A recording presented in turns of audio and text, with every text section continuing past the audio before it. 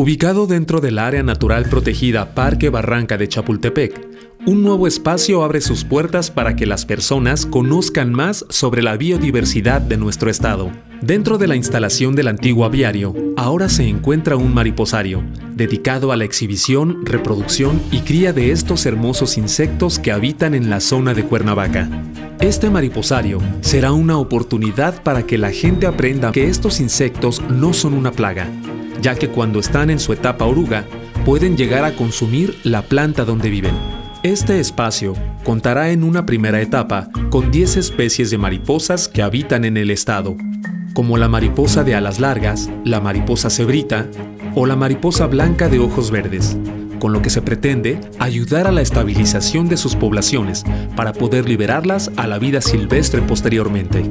El ciclo de vida de estos animales comienza cuando el adulto deposita sus huevecillos en la planta.